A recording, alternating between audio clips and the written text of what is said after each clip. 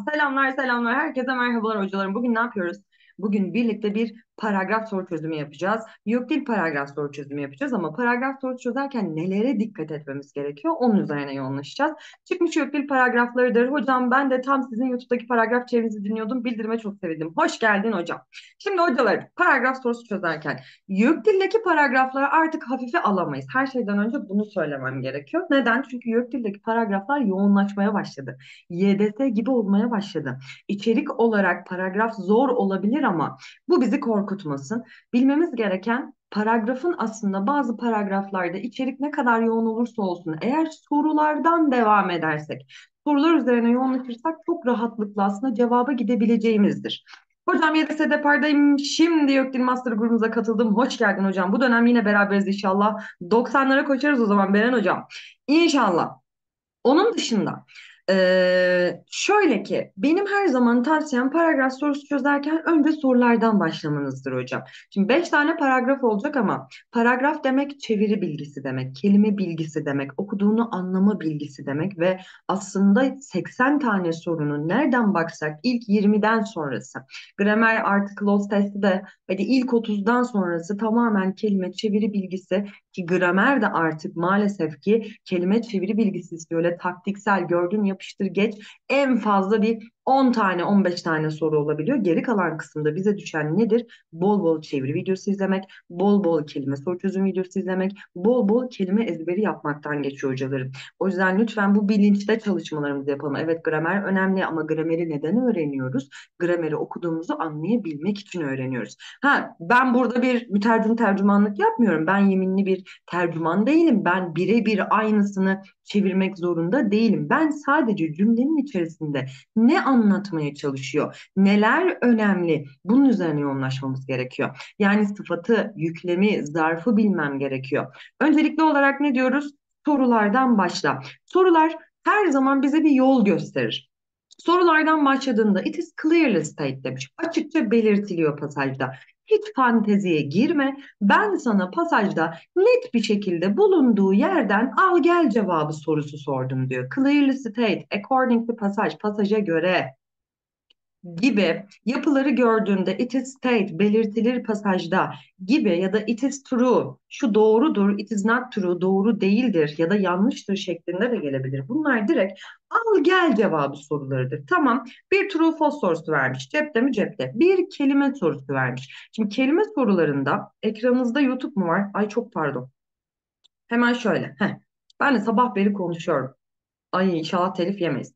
Şimdi Altı çizili kelimenin en yakın anlamı şu close mu zıt anlam mı yakın anlam mı ona dikkat edeceğiz ve bu altı çizili kelimeyi eğer pasajın içinde bilmiyorsan asla korkma.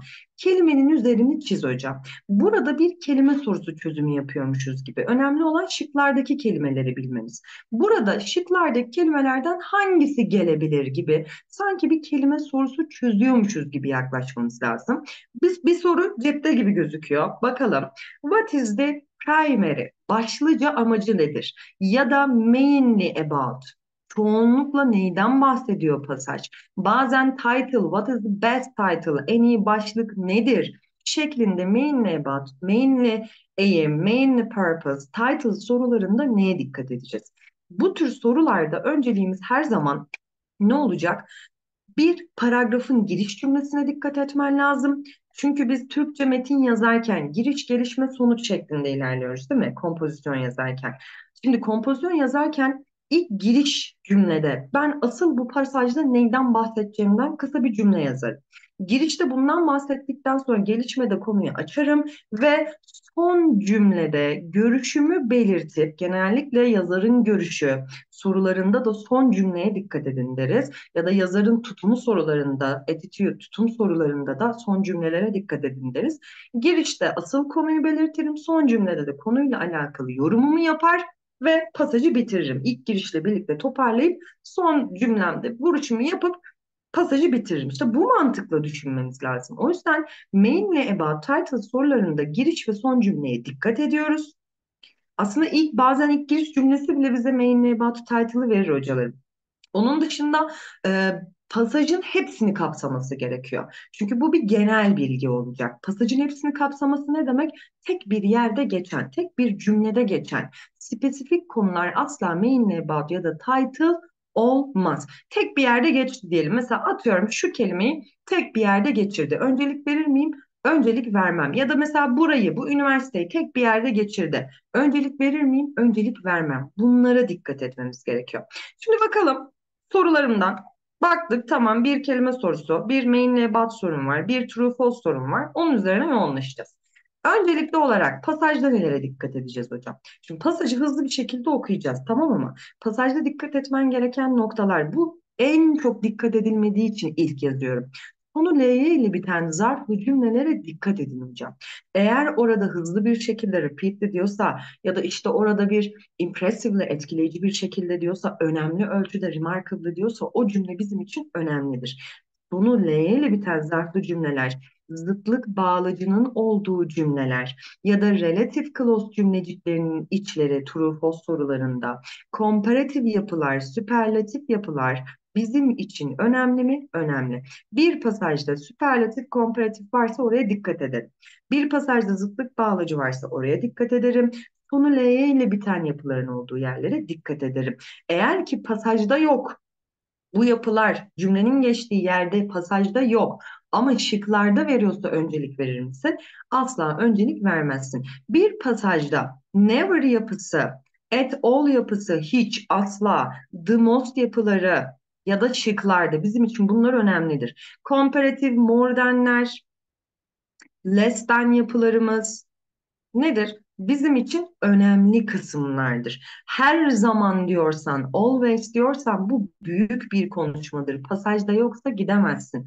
No'lu, not'lı cümleler bizim için önemlidir. Bunlar hep gözden kaçıyor ama bir pasajda no not'lı bir yapı veriyorsa işte oraya dikkat etmem lazım. Saçınız ne kadar güzel olmuş hocam. Sorulara odaklanmaktan ilk defa fark ettim. Kimse benim yüzüme bakmıyor ki. Kimse, o zaman doğru yoldayız. O zaman muhteşemsiniz. Şimdi sorumuza bakalım. Pasajımıza bakalım. Diyor ki it is no surprise that. Dikkat. İlk cümle bizim için önemliydi. Şuradan bir ilk cümleyi bulunduğu yere kadar bir çizeyim. Main about için buraya bir dikkat edeceğiz. Şaşırtıcı değil. Ne şaşırtıcı değil? Always on work attitude. Yani sürekli çalışma tutumu. That deyip açmış. Prevail, prevail yaygın olan demek. Bir şeyde prevail, prevalent yaygın olmak. In many culture, birçok kültürde yaygın olan sürekli çalışmada olma tutumu inevitably, kaçınılmaz bir şekilde sebep oluyor psikolojik yorgunluğa. But ama asıl mesele geliyor bak dikkat et. Ama the solution çözüm for ne için? Yorgunluk için. Çözüm bir şey için yorgunluk. E buradan neden bahsettim? X'ten bahsettim. Bu kelimeyi bilmiyorsan X X'te. Şimdi bunun için çözüm may not always her zaman olmayabilir in kicking back to relax. Şimdi kick back bir şeyi geri tepmek anlamında da kullanılır. Rahatlatmak, rahatlamak anlamında da kullanılıyor. Şimdi rahatlamak, e, rahatlamaya ya da sakinleşmeye e, dönüş ya da sakinleşmeye geri dönüş olmayabilir. Şimdi, şimdi rahat burada bir asıl konum var. Bir, main nebattan bahsederken de şunu söylemem gerekiyor. İlk giriş cümlesinden sonraki ama fakat ancak bağlaçlara dikkat etmeniz lazım. Eğer bu şekilde veriyorsa main nebat battan sonra gelir. Çünkü biz her zaman Türkçe'de de böyledir. Asıl kastımızı amadan sonra söyleriz. Harika bir e, şehir ama şöyle sıkıntıları var. Muhteşem bir ülke ama nokta nokta sorunları var. Asıl kastım bu sorunlardan bahsetmek olur gibi. Şimdi burada da battan sonraki yapıya dikkat etmen lazım. Tamam. As counter. Şimdi diyor ki as it sounds. Hocam ben bu as'i nasıl çevireceğim? As'i çevirmek bana çok büyük sıkıntılar yaratıyor. Şimdi it sounds kulağa geldiği için mi? Kulağa gelirken mi? Kulağa geldiği gibi mi? Hangisi? It seems, it sounds, it look ne gibi çevirirsin? Kulağa geldiği gibi as counter ne olarak bir karşı tutum olarak kulağa geldiği gibi insanlar sıklıkla hissederler daha az yorgun. Şuradaki lesin altını çizmem lazım. Şimdi daha az yorgun hissediyorlar okulda ya da işte when they find time zaman bulduklarında ne yapmaya? Rahatlamaya, günlük training, idman yapmada ya da işte spor yapma diyebiliriz. Günlük idman yapma, günlük idman döneminde rahatlamaya zaman bulduklarında daha az yorgun hissediyorlar. Şurası önemli. Hitting the gym. Jimnastiğe gitmek sabahları örneğin.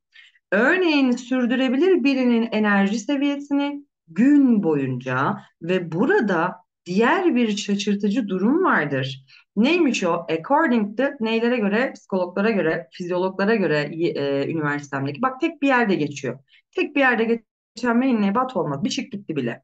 Buradaki üniversitede, Avustralya'daki üniversitedeki çalışmalara göre daha yüksek yoğun training, eğitim ya da idman yapmak. Ama jimnastikten bahsettiği için bunu idman yapmak diye çevirebilirim. Etkindir, yardım etmekte birinin psikolojik yorgunluktan avoid, kaçınması için. Which ki bu da is the state of emotional. Burada bunun ne demek olduğunu anlatıyor sana. İlk girişte bilemedin, ilk girişte anlamadın. Yorma kendini sevgili okur diyor. Ben sana anlatacağım zaten. Her kelimeyi bilmek zorunda değilsiniz özel isimlerde. Metin içinde o bize bilgi verir. Bu bir ne durumudur? Duygusal ve fiziksel ve mental yorgunluk durumuymuş. Kaos by ne tarafından sebep oldurulan? Aşırı ve uzun süreli stres tarafından. Şimdi konunun ne olduğunu anladın mı? İlerleyen dönemlerde anladım. Ben bu kelimeyi bilmesem de bu bana zaten yardımcı olacak metnin içerisinde. Bu neymiş? Psikolojik yorgunluk diye bildiğimiz bir yapı aslında ama duygusal, fiziksel ve mental yorgunluk aşırı ve uzun süreli stres tarafından sebep oldurulan. Peki yoğun, daha yoğun olan idman yapmak ya da egzersiz yapmak etkin değil mi yardım etmekte bu stresten kaçınmaya? Evet, true false da gelebilir. Diyor ki a combination of katı, sıkı, sert demek tough. Katı ya da sert. Sert, sıkı bir kardiyo ve kuvvetli bir eğitimin kombinasyonu, bileşimi uygulanabilir bir prescription. Sağlık metninde de gelir, sosyal metninde de gelir, fen metninde de gelir. Reçete anlamında kullanılıyor. Prescribe bir şeyi reçetelendirmek ya da bir şeyi tavsiye etmek anlamında kullanılıyor. Kronik bir şekilde aşırı çalışmanın çalışma için ya da iyi bir reçete olabilir, uygulanabilir bir reçetedir demiş. Çünkü her tür eğitim, her tür idman ne yapıyor farklı faydaları birinin duygusal refahındaki? Şimdi ben buraya okurken direkt kelime sorusunun cevabını verebilirim. Nasıl vereceksin hocam? Şöyle vereceğim. Bu bir kelime sorusuymuş gibi yaklaşacağım. Şu bulunduğu yere. Şimdi bu bir iyi mi? İyi bir şeyden bahsediyorum. Uygulanabilir bir reçete dedik. Kronik sürekli bir şekilde esneklik diye de çevirebiliriz aynen. Aynen Merda hocam. Sürekli bir şekilde, kronik bir şekilde aşırı çalışma için bir reçete olabilir. Çünkü her bir idman farklı faydaları zarar vermez. Burada olumlu bir fiil istiyor benden. Çünkü artı bir şeyden bahsediyorum. Birinin duygusal refahı üzerinde olumlu farklı faydaları ne yapar? Her bir idman. Şimdi bakıyoruz. Etkiler mi? Aa, çakal, güzel çeldirici. Bak bu çeldirici. Faydayı etkiler misin? Faydayı conceal, dün yaptığımız kelime sorularında defalarca gelmişti. Neydi? Saklamak demekti. Bak paragrafın içinde de gelmiş. Provide ne demekti? Enable, sağlamak anlamında kullanıyordum. Determine bir şeyi belirlemek anlamında kullanıyorum.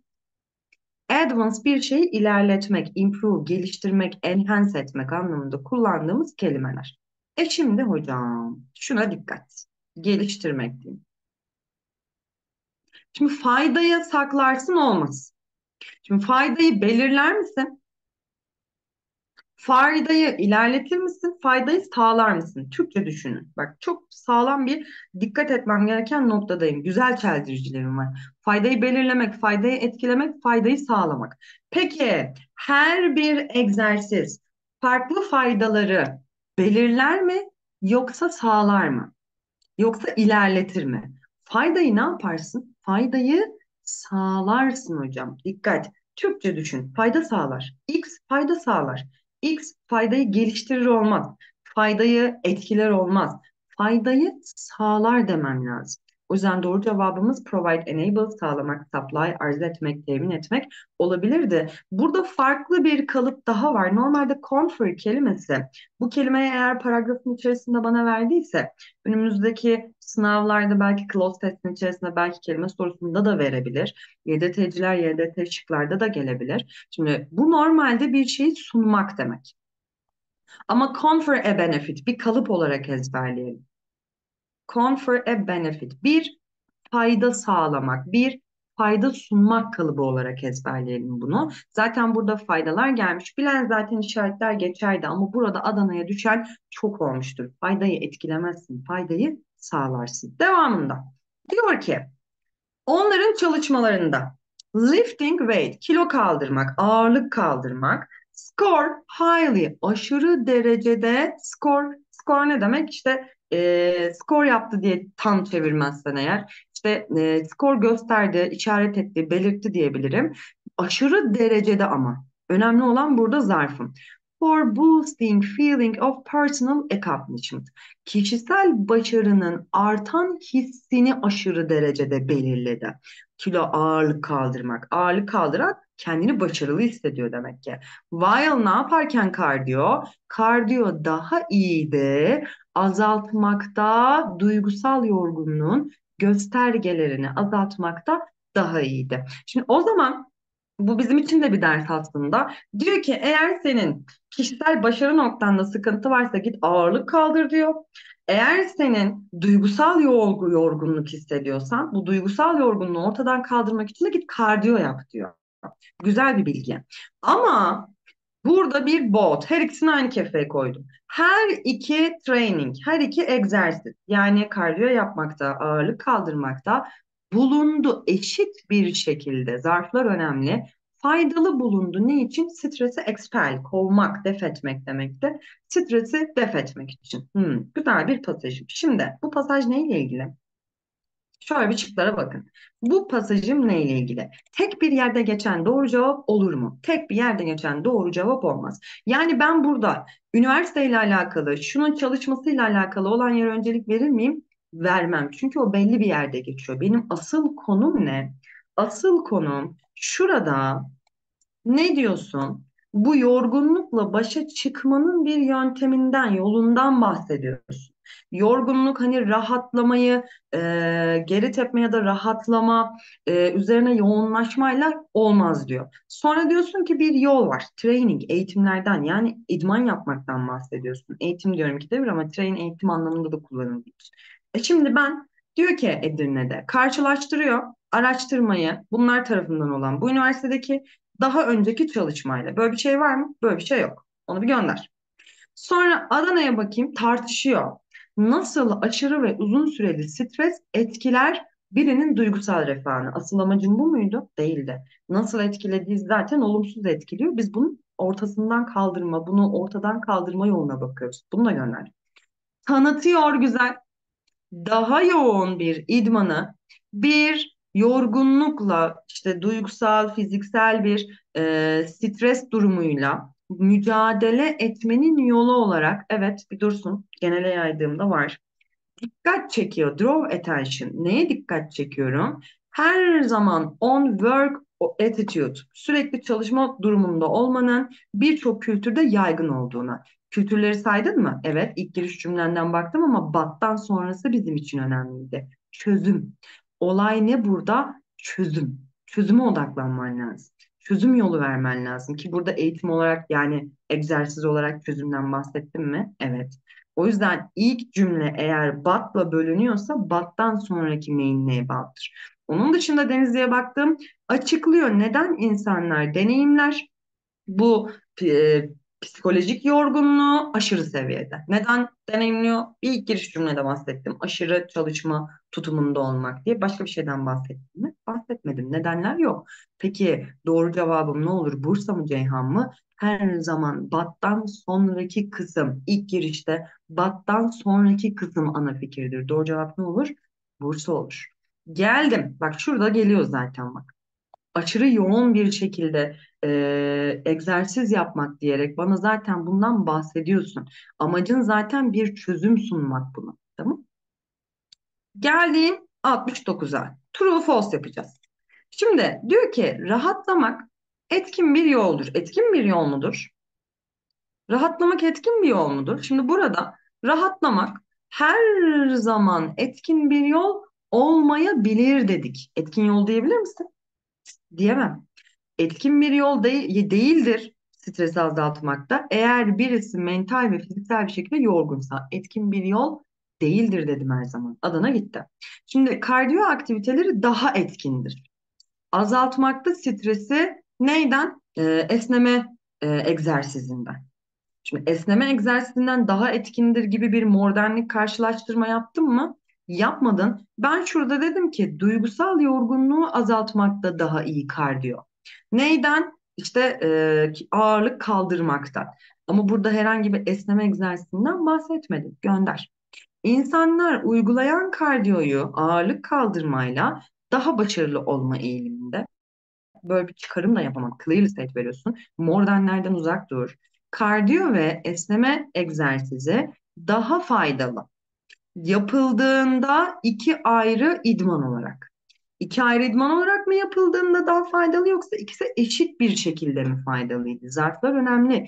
İkisi eşit bir şekilde faydalı. Bu da olmaz. Diyor ki egzersiz karışımı yani bot daha iyidir bir tipten. Alone sadece şu reap kelimesi bizim için önemli. Bak bu son yok dillerde, YDS'lerde çok karşımıza çıkıyor. Elde etmek anlamında. Bir şeyi sağlamak anlamında kullanır. En büyük faydayı sağlamak için bir tip sadece bir tipten daha iyidir. En son cümleye bak. İkisini ayrı tutmuştum. Ama sonra dedim ki bunlar bulundular eşit bir şekilde faydalı stresi kovmak için. Aslında bir nevi çıkarım sorusu gibi olmuş. Yani direkt true false olarak vermemiş. İşin içinde süperlatif var. Sıkıntılı bir şık. Ama diğerlerine baktığında bunların doğru cevap olma ihtimali var mı? Yok. Çünkü bunlar net bir şekilde değil. Ama bu birazcık e, clearly state değil de açıkçası bazı sorularda böyle çakallıklar yapabiliyor. Clearly state değil de bir tık çıkarıma yönlenmiş. Çıkarım cevabı olmuş. Hani burada it can be imply işte e, one understood deseydi daha doğru olurdu soru kalıbı. Ama en doğru cevabım ne oluyor? Edirne oluyor. O yüzden cevap Edirne. Reap için bir şey demiştiniz. Tekrar ediyorum. Bir şeyi elde etmek, bir şeyi sağlamak anlamında kullanır. En büyük faydayı sağlamak için tek bir türü yapmaktan daha iyidir ikisinin karışımı. İkisi de eşit bir şekilde. Aslında burada bir çıkarım veriyor. Yani çıkarım sorusu bu bir yerde. Kazanmak da olur aynen. Bir nevi birazcık e, çakal bir soru olmuş 69. soru. Yani burada hani 70'e 71 doğru bir şekilde yaparız. 69 bir tık true false'dan ziyade sağ olsun çıkarım sorusu sorup aslında soru kalıbına çıkarım verse daha doğru olurdu. Geldiğim diğer paragrafıma. Şimdi şıklara bak. Diyor ki hangisi doğrudur pasaja göre? Gene bir true false sorusu. Ve temel amacına yazarın bulunduğu cümleye ilk girişe dikkat et, genel e, anlatmak istediğine dikkat et diyor. İşaret ediliyor pasajdan. Şimdi şu temple, bu tapınakların olduğu yere git, al, gel cevabı diyor. Tamam. Bazı sorularda da çok net bir şekilde bize e, git oradan al gel cevabı diyerek bulunduğu yere şu kelime artık bilebilirim, bilmeyebilirim fark etmez. Sadece o kelimenin olduğu yere odaklanmamızı istiyordur. Burada da bir ne var? Point out, işaret ediliyor diyorsa bir true false sorusu vardır. Şimdi bakalım. Diyor ki Akropolis in Atina. Buradaki Akropol. İnşa edilen Yunan'ın altın çağı boyunca bilgisini de vermiş. Milattan önce 500 ile 300 arasındaki. Burada inşa edilen Akropolis.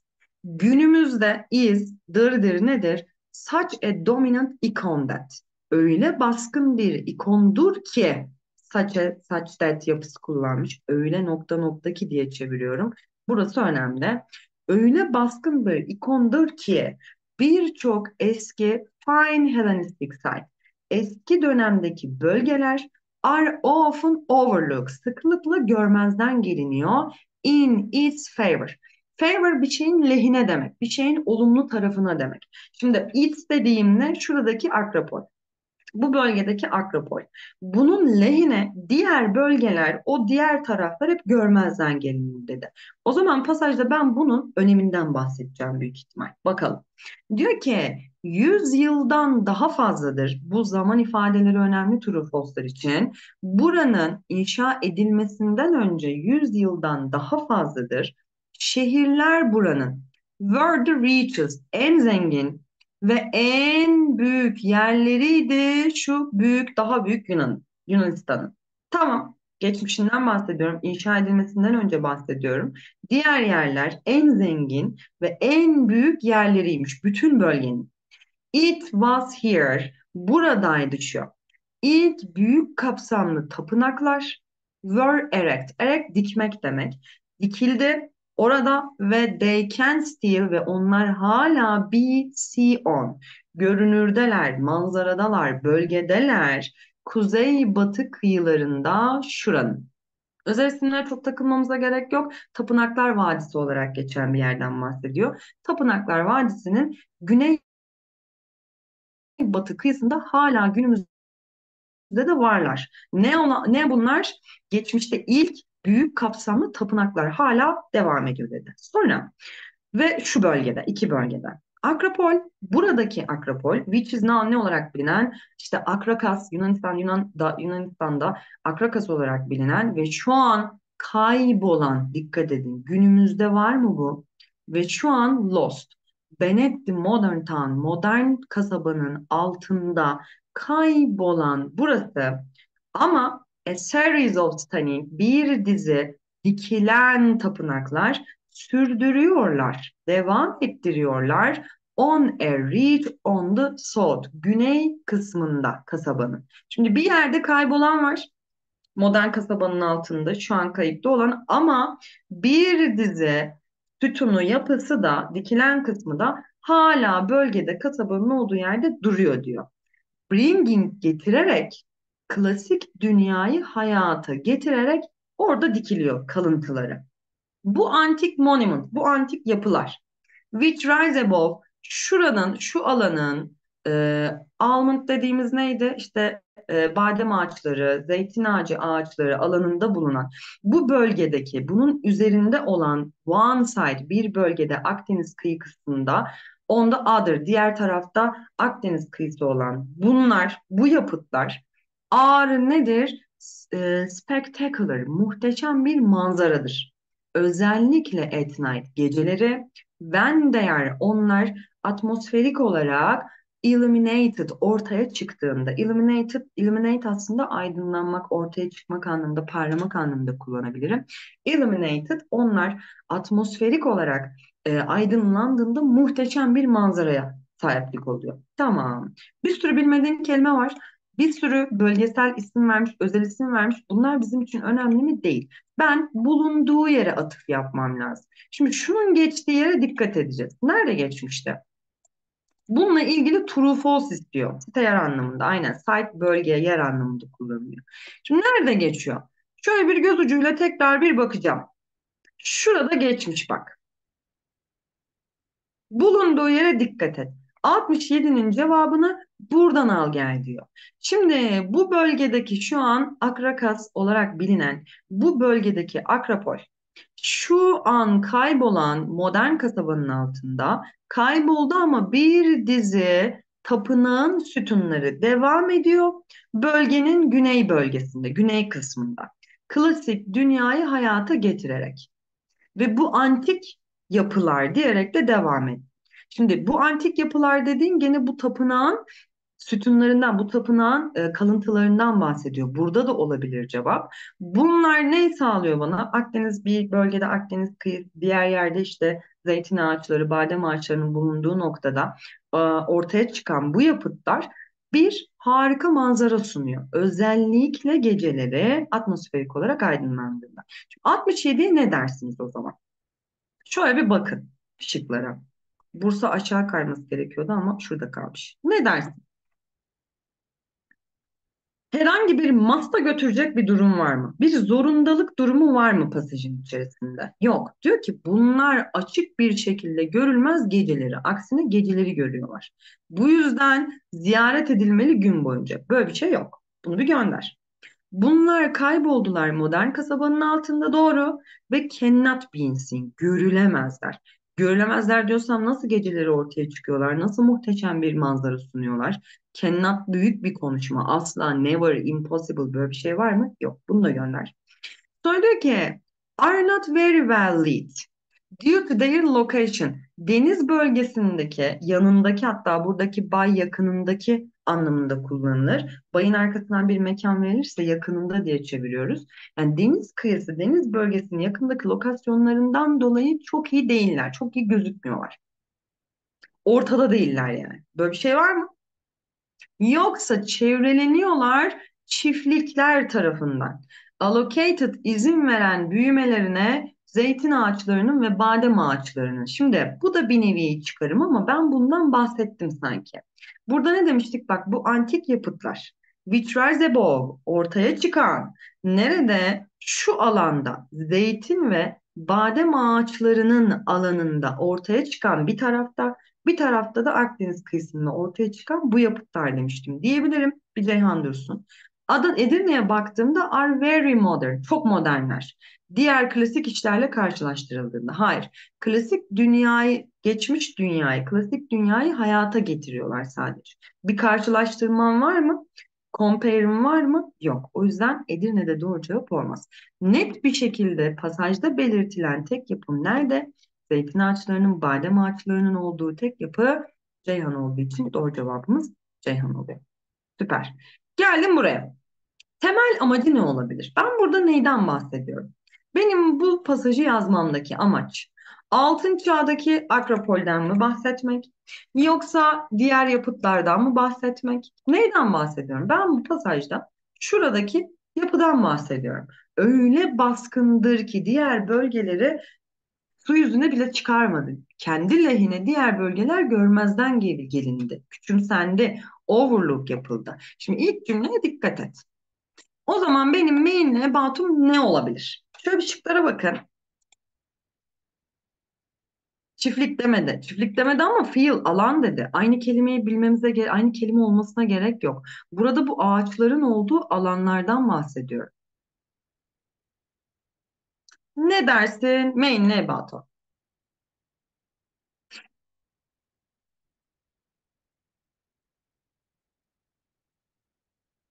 Şuraya tekrar bir bakayım. Hiç Akropol'den bahsettim mi ama bunu iyi tutun bak. Akropol'den bahsettim. Diyor ki burası inşa edildi bu çağ boyunca. Günümüzde öyle baskındır ki birçok diğer bölgeler sıklıkla görmezden gelinir onun lehine. Tamam güzel çeldirici olabilir ama bak. Ben pasajda bu Akropol'den mi asıl bahsettim? Yoksa diğer bölgelerden mi bahsettim? Diğer bölgelerin görünmezliğinden mi bahsettim? Şimdi kritik bir soru. Bakalım. Açıklıyor şunların bazılarını. Work completed tamamlanan şu çağ boyunca. Şimdi olabilir. Bir dursun. Convince ikna ediyor okuyucuyu as to, as for, when it comes to konuşuna gelince. Neden onlar öğrenmeliler daha fazla Akropol hakkında? Bunu ikna etmek için mi yazdım? Neden daha çok bununla ilgili bilmen lazım? Bunun için mi yazdım? To entertain, eğlendirmek için okuyucuyu yapıtlarla. Nasıl yapıtlar? What life, hayat nasıldı? Ya da hayat ne gibiydi? Bu çağ boyunca ne gibi olduğunu belirten yapıtlarla eğlendirmek için. Hayatın nasıl olduğunu hiç açıkladı mı bana? Geçmişteki hayatım. Yok, açıklamadı. Bunu da gönder. Şu zaten tek bir yerde geçmiyor mu? Karşılaştırıyor ve zıtlıklarını yapıyor temel bölgelerin buradaki. Böyle bir şey yok. Zıtlıklarını, karşılaştırmalarını yapmadım. Bununla gönder. Diyor ki bilgilendiriyor okuyucuyu daha az bilinen güzellik hakkında. Bazı Helenistik bölgelerin daha az bilinen güzellikleri hakkında bilgilendiriyor. Hmm. Şimdi acaba Adana mı, Edirne mi? Ben acaba burada asıl amacım Akropol'den bahsetmek mi? Ve ilk giriş cümlesine dikkat edin demiştim. Acaba daha az bilinenlerin üzerine mi yoğunlaştım? Hangisi dersiniz? Çok çakal bir soru olmuş. Tekrar şöyle bir pasaja bak. Benim amacım buradaki Akropol'den bahsetmek mi yoksa diğer yerlerdeki bak bunun inşasından önceyle başlıyorum. Dikkat. Bunun inşasından önce buranın bölgeleri en zengin ve en büyüktü. Ve oradaydı ilk büyük tapınaklar. Ben Akropol'den mi bahsediyorum, öncesinden mi bahsediyorum? İşte burası çok önemli. Burası çok önemli. Çakal bir soru yapmış. İlk girişe baksan sanki Akropol'den hep buradan bahsediyorum gibi gelir. Ama ben buradan sonra acaba Akropol'den mi bahsediyorum, Akropol'ün öncesinden mi bahsediyorum? Hangisi dersin? Hangisi dersin? Çok kritik bir soru olmuş ya. Adana çok güzel bir çeldirici. Ama bunun doğru cevabı ne? Hocalarım işte yok dil de artık EYDS, YDS formatına gidiyor derken şıklara dikkat edin derken bundan bahsediyoruz. Benim amacım aslında ne? Öncesindeki yapıtların güzelliğinden bahsetmek. Bilgilendiriyor okuyucuyu daha az bilinen güzellikleriyle ilgili. Neden? Sen burada dedin ki tamam buradaki Akropolis Altın Çağ boyunca inşa edilen günümüzde öyle baskındır ki birçok diğer bölgelerim are often overlooked sıklıkla görmezden geliniyor onun lehine. Şimdi ilk cümlede de aslında veriyor bize. Buradaki tamam baskınlığından da bahsedebilirim. Diğerlerinin öneminden de bahsedebilirim. İkisini tuttun ve devamına baktın. Akropolis'ten mi bahsediyorum ben yoksa diğer bölgelerden mi bahsediyorum? Bunun inşa edilmesinden 100 yıl önce, yüzyıldan daha fazla zaman hatta buranın şehirleri en zengin ve en büyüğüydü ve oradaydı diyorum. Gene hala öncesinden bahsediyorum. O zaman benim amacım Akropol'le ilgili bilgi vermek mi yoksa diğer bölgelerle ilgili bilgi vermek mi? İşte burası önemli. Doğru cevap ne olur? Edirne olur. Anlaştık? İkisini tutman lazımdı. Yani burada en büyük günümüzün en önemli günümüz dediği için buna gideceğiz. En önemli ikonu olduğundan da bahsedebilirdim. Ya da diğer bölgelerin önemine de vurgu yapabilirim. İkisini tutuyorsun. İkisini tuttuktan sonra devamı neyle ilgili? Hangisiyle ilgiliyse önceliğini ona veriyorsun. O yüzden doğru cevap ne olacak? Edirne. Ama bu soruda cayır cayır Adana'yı işaretleyen de vardır. Geldim true false'a. Şöyle bir bakın. Dikkat etmemiz gereken yeri anladık mı? Şöyle bir bakalım true. Ne dersin? Şimdi diyor ki önce bir bakın. Bundan bahsetmiştim Adana'dan değil mi? Burası has been admired hayran olunur. More than many other birçok bölgeden daha çok hayran olunuyor. Doğru.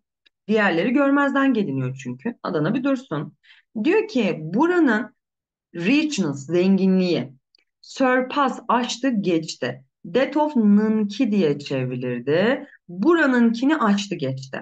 Şimdi buranınki, Sicilya'nınki, Atina bölgesindekini açtı, geçti mi? Even after sonrasında bile Akropolis inşa edildikten sonra bile böyle bir vurgun var mı? Hiç zıtlık bağlacım doğru düzgün yok zaten. Sonrasında bile açtı geçti gibi bir bilgim var mı? Yok.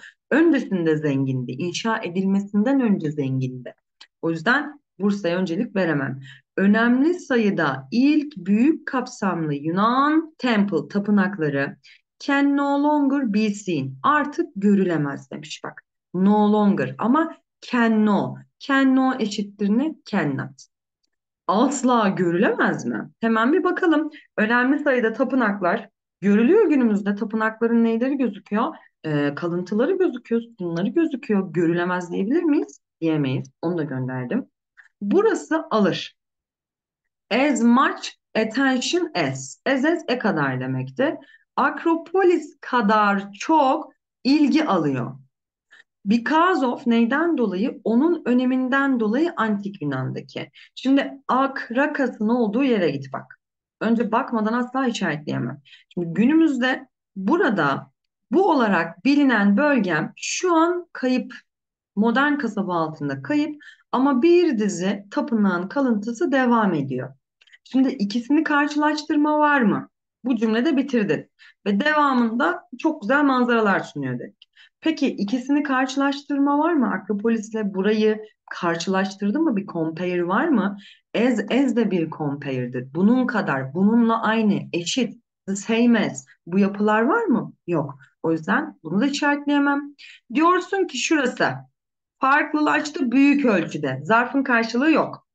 Birbirinden one another neydi? Tapınak sayısında onların ev sahipliği yaptı. Tapınak sayısında önemli ölçüde farklılaşıyor. Oldukları yere gidiyoruz. Oldukları yere geldiğimde bu tapınaklar vadisi demiştik. Hala görülebilir. Büyük sayıda tapınaklar hala görülebilir demiştik. Peki bunları karşılaştırma yaptın mı? Hayır, bu bundan daha, bu bundan daha az, daha iyi, daha düşük. Herhangi bir karşılaştırma var mı? Yok. Büyük ölçüde farklılaşıyor dedik mi? Yok. Sadece oradaki çok sayıda tapınak hala görülür günümüze gelmiş dedik. O yüzden Edirne de doğru ce- cevap değil. Doğru cevabım direkt Adana oluyor. Ki zaten bunu da ilk girişte söylemiştik, değil mi? In favor of diyorsam bir şeyin lehine. Neyin lehine? Its favor dediğim şu Akropol'ün lehine görmezden geliniyor. Çok sayıdaki bölgedeki yapı, eski yapı, daha eski yapılar. O yüzden doğru cevabımız ne olur? Adana. Size bir trik daha vereyim. Genellikle YDT'de, YÖKDİL'de, YDS'de bazı paragraflarda. İlk soru genelde paragrafın ilk girişinden gelir. Genelde ama. %90 değil. Genelde ilk girişten gelir. Tamam. Anlaştık mı? Anlaştıysak eğer umarım faydalı olmuştur. Şöyle bir şey söyleyeyim.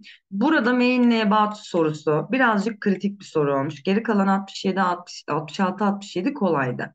Onun dışında buraya baktığımızda da burada aslında şöyle bir zor soru ha bu zor soruymuş diyebileceğim hani öyle e, bir soru yoktu. Ama buraya geldiğimizde burada bir main ne about sorusuna dikkat et demiş. Bir tane şurada aa, vardı. Bir tane şurada it is clearly state rağmen bir nevi çıkarıma yönlendirmiş bir şıkkı işaretletti, işaretletti. Orada bir sıkıntı yaşayabilirdik. Ama gene iki paragrafta hani bunu genele yaydığımızda 2'de 2 yapabilir misin? 3'te 2 yapabilir misin? Yapabilirsin. Bazı paragraflarda full çekebilirsin. Önemli olan paragrafı nasıl çözmen, nereye bakman gerektiğini bilmek hocalarım. Anlaştık? Anlaştıysak eğer ve YÖKDİL paragraflarının gördüğün gibi öyle çok da rahat kolay olmadığını fark ettiysek eğer lütfen kelime çalışmalarımıza dikkat edelim.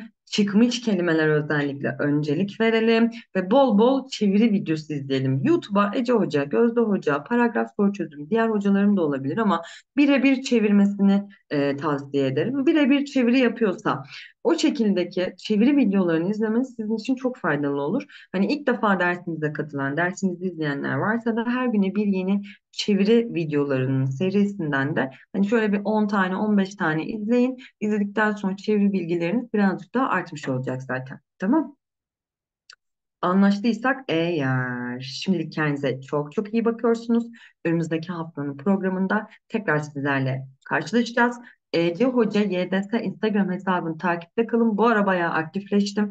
Özellikle kelime bilgisi olarak işte trik bilmeniz gereken bilgiler olarak Ece Hoca YDS Instagram hesabını takipte kalın hocalarım. Önümüzdeki dönemde ben sıfırdan başlayacağım YÖKDİL'e. YDS diyenler için YDS Depar ve YÖKDİL Depar gruplarını kaçırmayalım. İleri seviyeyim ben gramerle işim yok soru çözümü kelime çeviri çalışması ve skill test yüklenmek istiyorum diyenlerde YDS Master ve YÖKDİL Master gruplarını kaçırmayın hocalarım. Zaman geçmesin tamam Anlaştıysak eğer şimdi kendinize çok çok iyi bakıyorsunuz. Başka bir derste görüşüyoruz. Bay bay. Anasına kızına duvardaki sazına sandıktaki bezine yandım hele Anasına kızına duvardaki sazına